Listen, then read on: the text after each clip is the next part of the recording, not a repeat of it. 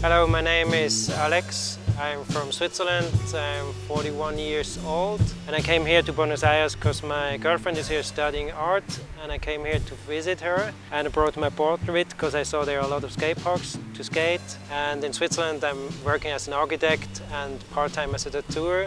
That's why I brought my stuff here to do some tattoos as well.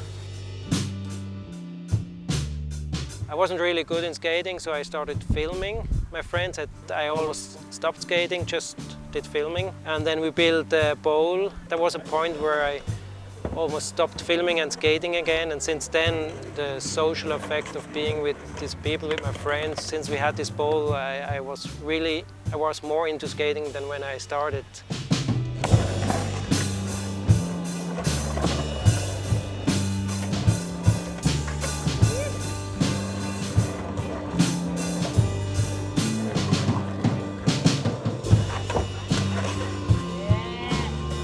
I relearned skating, I learned to skate bowls, and then this uh, cancer happened to me, the amputation, and there was another big part in relearning skating.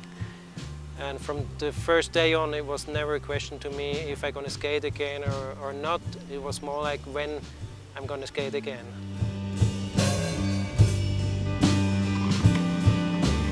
I had an amputation of my foot first, and they found a little metastasis on the cut where they take off the foot, so they had to amputate more, which was kind of a hard stress to me because at this point it was like I was I was really tired because of the chemotherapy, and all this operation and being in hospital all the time, and kind of it was like you never know you, if you're going to survive or, or not.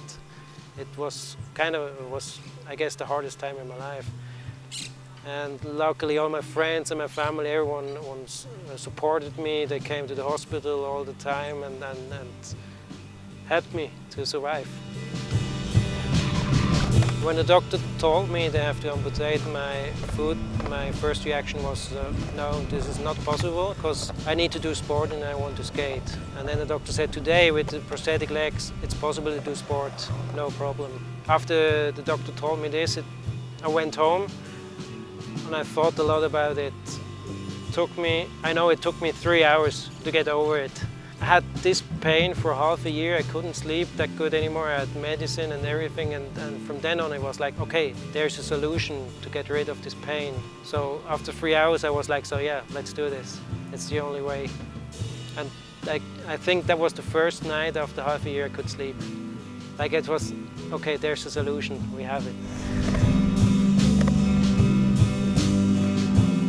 Think six weeks after I got the prosthetic leg, I got on my skateboard again, just to have the feeling how it is, figure out how it feels to be on a skateboard. Walking was possible then. It hurt a little, but it was possible.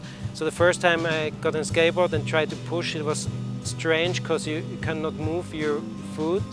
So I, I, pushed in the air and so okay, I've got, I have to go deeper, push on the ground. I have to figure out how I have to move my body to make it possible. And, and, a couple of weeks later, I tried my first turn on a quarter.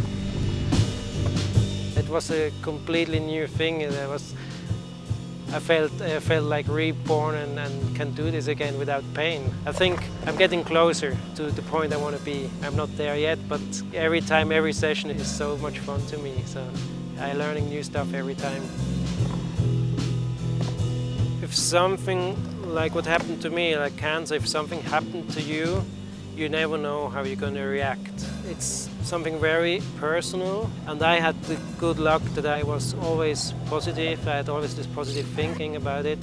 And if I can be an example to other people to, to being positive about a hard time, I hope it helps other people. It's six years ago since this happened to me, so I got into daily routine again, and I have to tell myself from time to time again, do your life as it could be the last day. Enjoy, and, and I always try to do everything I can. I'm interested in it. So I, I got this, this mental thing of, of seeing more the positive things about the bad things, I guess.